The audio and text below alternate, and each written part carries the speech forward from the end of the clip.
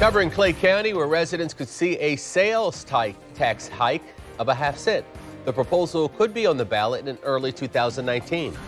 It comes just two days after Clay County voters approved a property tax increase for school security. Now the district is eyeing another tax hike next year. News4JAX reporter Scott Johnson joining us live from Orange Park, where district leaders are considering a sales tax increase. Scott?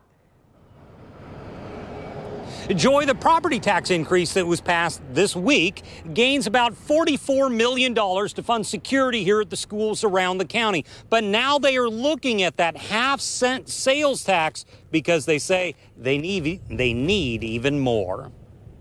That 44 million will go a long way to securing Clay County schools and paying for the salaries of school resource officers. But county leaders argue that money's not enough. The school board is now considering whether to put a half cent sales tax increase on the ballot in early 2019. The goal to raise $300 million to help schools secure buildings like classrooms that are in portables. Some of the 300 million would also go toward improving aging buildings, heating and air conditioning units, what the district calls deferred maintenance. I would be okay with paying a little bit extra taxes if it meant that they could get the staff that they needed. No, I don't like it.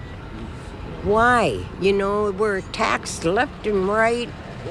And now more? Clay voters are split on this half penny tax issue as they were on the property tax issue, which passed Tuesday. What do you think about another tax hike in addition? Well, that tells me that um, maybe Clay County's not my home anymore. Depends on how much of a hike. I mean, a penny, two. Half cent. I'm, I'm for it for the schools. Here's how the tax hikes work. For the property tax one, which is approved for a $100,000 home, you'd pay an extra $100 a year in property taxes. In the proposed sales tax hike, say you go to Home Depot and spend $1,000, you'd spend an extra 5 in sales tax. Some are critical of the school board and how it's spending tax money. The political action group Clay Family Policy Forum sent out this flyer before Tuesday's election. It claims the district really only needed 21.3 million for extra security over the next 4 years and not the 44 million this property tax increase will raise. And district officials tell me they weren't sure where they were getting that number from, but it probably doesn't take into account all the needs that the property tax hike covers.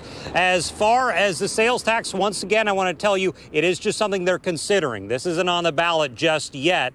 And I want to point out someplace where we'll be covering this a lot our News for Clay County Facebook page. Just started up. If you live in Clay County, we have a lot on there, particularly about this sales tax. We'll be covering it as we get closer to determine whether or not it goes on the ballot. Just go onto Facebook and look up News for Clay County. We're live in Clay County. Scott Johnson, Channel 4, the local station.